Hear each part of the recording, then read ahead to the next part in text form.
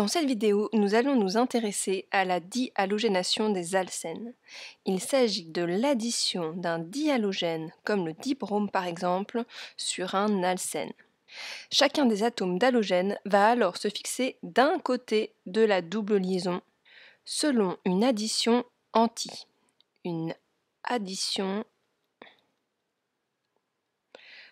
anti c'est-à-dire que chacun des atomes d'halogène va se fixer à l'opposé l'un de l'autre. Quel est le mécanisme de cette addition et pourquoi s'agit-il d'une addition anti? Voici mon alcène et mon dihalogène va se rapprocher de la double liaison de cette façon verticalement. Voici la structure de mon dihalogène avec deux halogènes et chacun leurs trois doublets non liants. Cette molécule de dihalogène est non polaire puisque les deux atomes qui la composent sont strictement identiques et donc ont la même électronégativité. Cependant, quand le dihalogène s'approche des électrons de la liaison pi, en violet ici, ces électrons vont avoir un effet répulsif sur ces électrons ici en bleu, puisqu'ils sont de même charge. Et quand ces électrons ici en violet repoussent les électrons ici en bleu, ces électrons-ci vont se rapprocher de l'atome d'halogène qui est ici en haut. Et cet atome d'halogène va donc acquérir une charge partielle négative petit delta moins. Et l'halogène en bas va acquérir une charge partielle positive petit delta plus. Cet halogène ici, avec sa charge partielle positive, va donc être avide d'électrons et se comporter comme un électrophile. Et la liaison pi va se comporter, elle, comme un nucléophile et va donc attaquer cet électrophile. Et au même moment, ce doublet non liant va attaquer ce carbone. Ce qui va faire que les électrons ici en bleu vont aller se mettre sur cet halogène ici en haut. Nous obtenons donc à l'étape suivante une simple liaison entre les deux carbones, les substituant ici et là. Les électrons ici en violet vont désormais former une liaison entre ce carbone et cet halogène, comme ceci.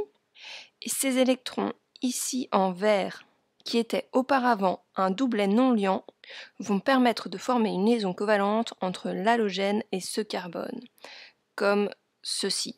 Il va donc rester à cet halogène deux doublets non liants et il va acquérir une charge positive puisqu'il a ici gagné un électron, ici perdu un électron et ici encore perdu un électron. On appelle ceci un ion halonium, un ion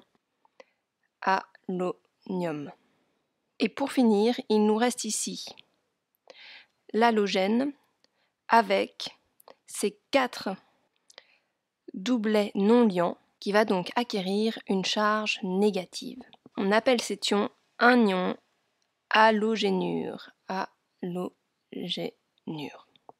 Que va-t-il se passer ensuite? Eh bien, cet halogène ici, chargé positivement, va être très avide d'électrons, tout d'abord parce qu'il a une charge positive et ensuite parce que les halogènes sont fortement électronégatifs. Donc cet halogène chargé positivement va attirer vers lui les électrons des liaisons carbone-halogène ici et ici.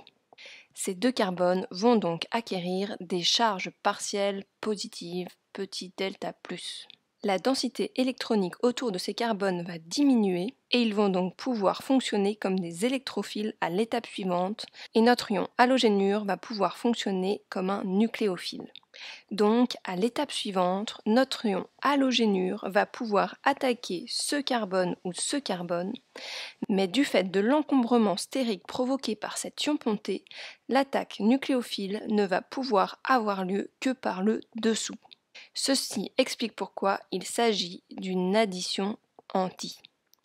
Donc, cet ion halogénure va attaquer un de ces deux carbones devenus électrophiles.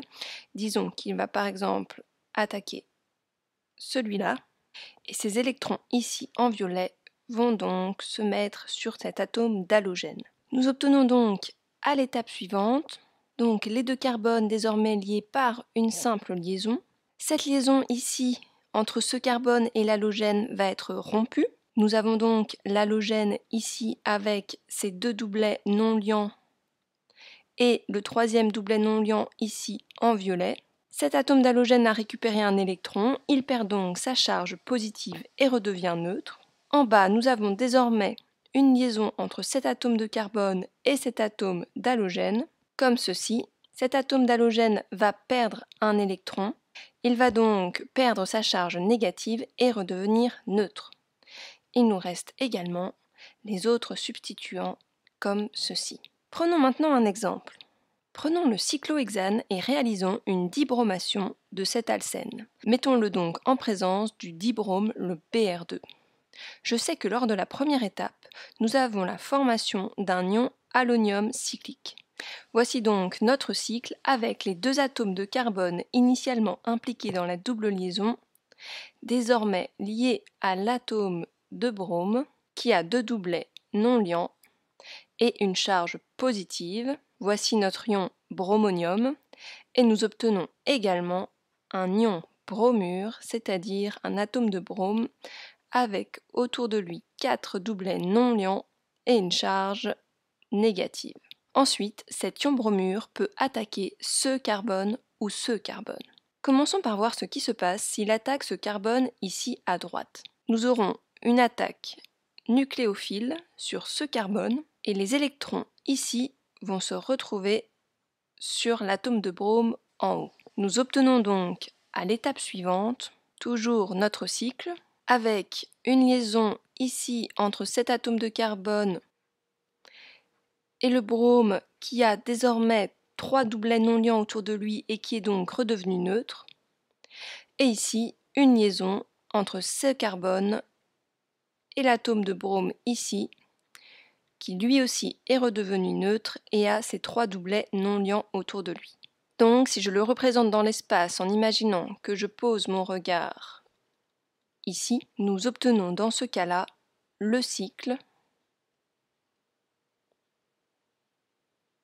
avec sur ce carbone-ci un atome de brome en avant du plan et sur ce carbone-ci un atome de brome en arrière du plan. Voilà donc mon premier produit. Maintenant, considérons que cet atome de brome va attaquer ce carbone ici à gauche.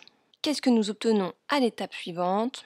Nous obtenons le cycle, avec cette fois l'atome de brome ici qui va rester fixé à ce carbone, comme ceci, et cet atome de brome ici va se fixer sur ce carbone à gauche par le dessous, comme cela. Donc, si je représente les choses dans l'espace, en mettant toujours mon œil comme ceci, nous obtenons cela, le cycle, avec sur ce carbone un atome de brome en avant du plan, et sur ce carbone un atome de brome en arrière du plan. Nous avons donc obtenu ici deux produits différents. Il s'agit de deux énantiomères et enantiomères, c'est-à-dire deux molécules non superposables mais qui sont l'image l'une de l'autre dans un miroir. Voici donc le mécanisme de la dihalogénation des alcènes, une addition anti où il faut être vigilant à la stéréochimie des produits.